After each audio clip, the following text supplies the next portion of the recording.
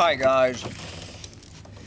It is a spectacularly gorgeous, and I do mean over the top beautiful, sunset over the end times here in paradise in the uh, in the Point Lonesome Swamp. Hmm. Where the little dog and I are enjoying this uh, this delicious pork loin sandwich on this lovely Friday evening, December 17th, 2021, waiting for the full moon to rise. And, uh, man.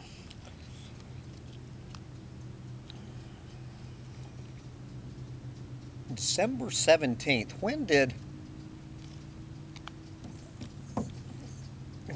when did Lulu bless my life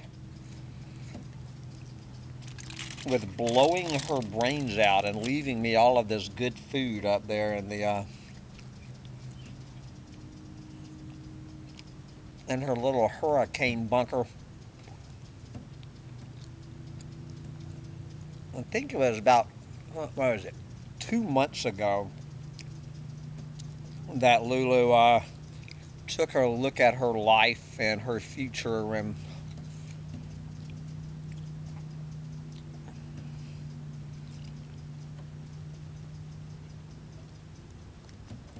put the gun through her head and uh, left me all of this food. So I, you know, I've been joking around Collapse Chronicles the past few days. Uh, how I am practicing the art of scrounging for food from suicides. Uh, just kind of making a sick, twisted joke, but the more I started thinking about this sick, twisted joke, the more I realize that's exactly what I am doing. Exactly what I am doing. I am scrounging for food in the stockpiles of a suicide. And uh, I'm thinking to myself, I know that this reminds me of uh, of a scene in some book. And then, of course, it occurred to me what the book was is The Road by Cormac McCarthy. if you have not read The Road, uh,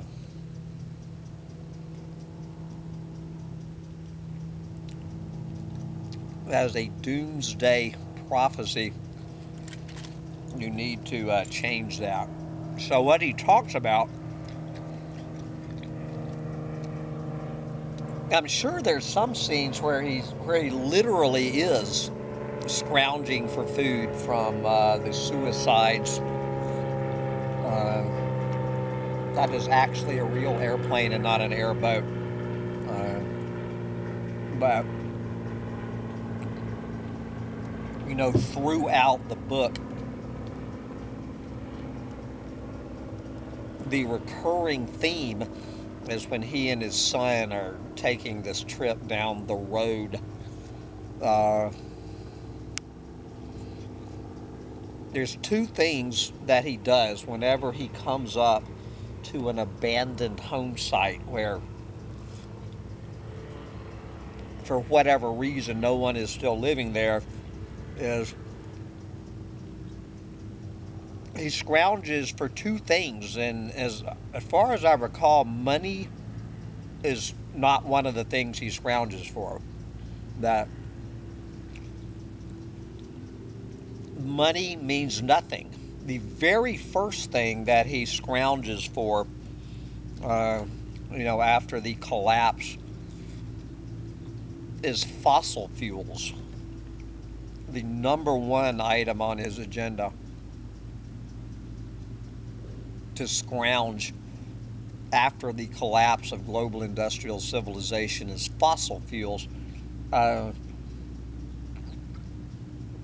even though he does not own a car. And I was reminded of that with this uh, with his fuel truck explosion in Haiti a uh, couple of days ago. My guess is, what was it?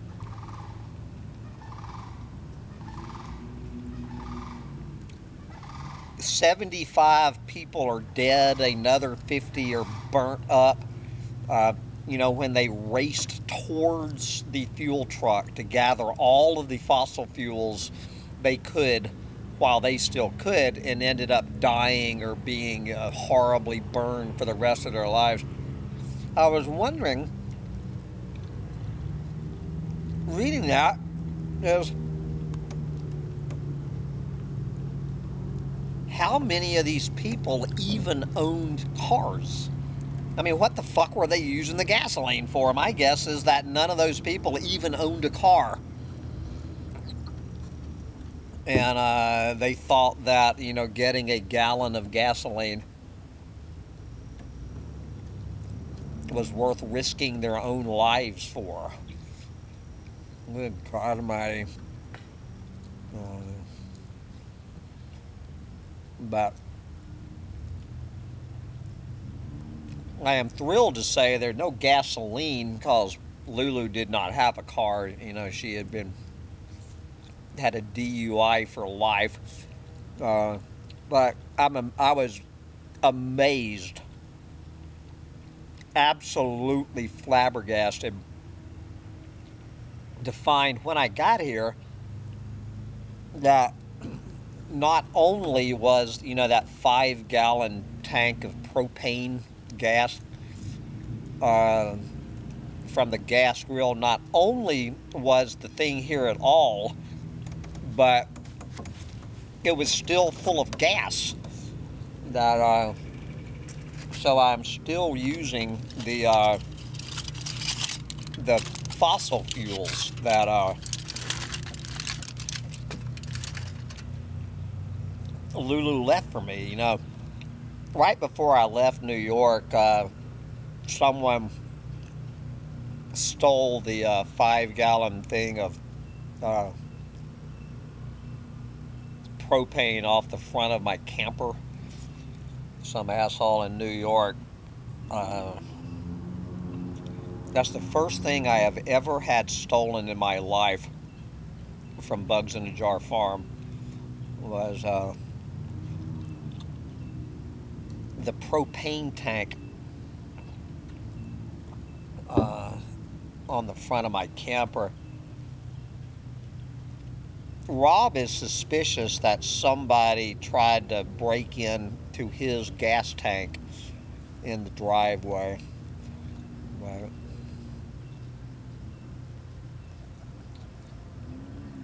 pretty weird, guys. Uh, so does life imitate art, or does art imitate life? Uh, scrounging for food from suicides. Uh,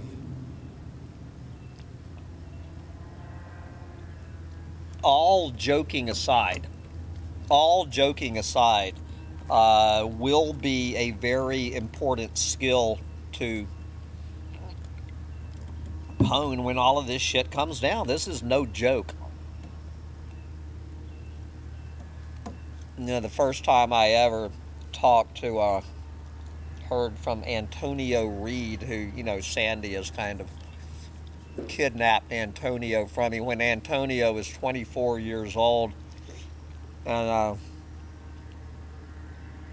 graduating from college a few years ago. He told me that when people asked him what he was going to do when he graduated from college, he said, most likely I will be scrounging for food. Uh, and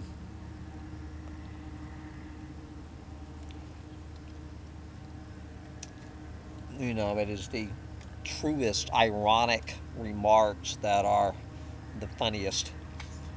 Uh, and here I sit four years later, literally scrounging for food from someone who blew their fucking brains out. Leaving all this food behind. And, uh, of course, she did not leave me any alcohol. She drank every drop of alcohol in the house.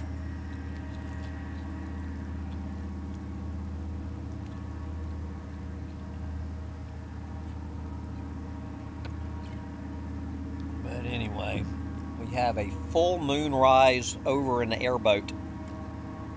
Well, I think this is truly a uh,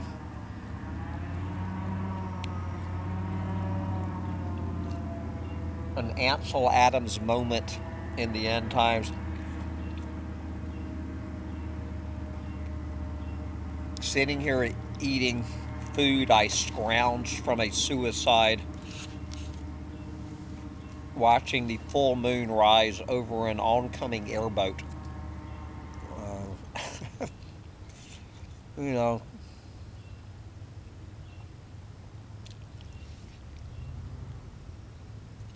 So,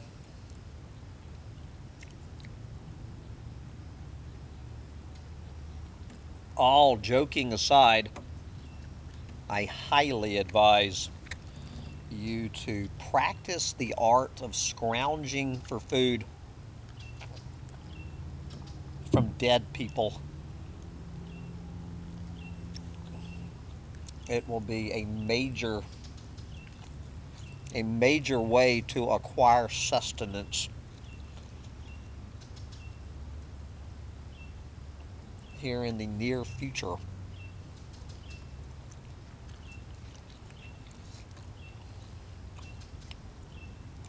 Mmm, man. What do you think, little dog?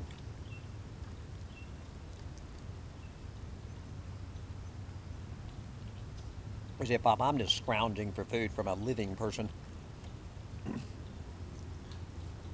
You're getting this from your Aunt Lulu. Your Aunt Lulu left you this delicious pork loin roast.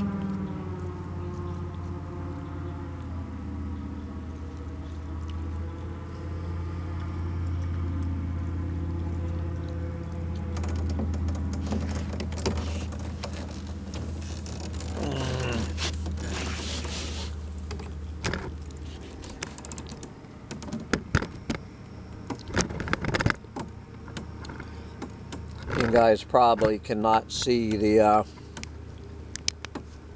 moon rise over the end times.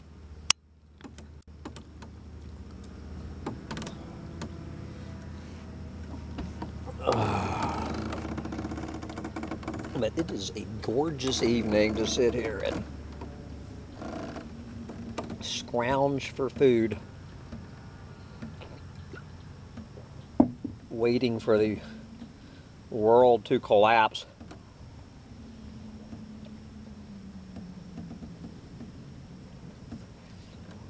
Mm.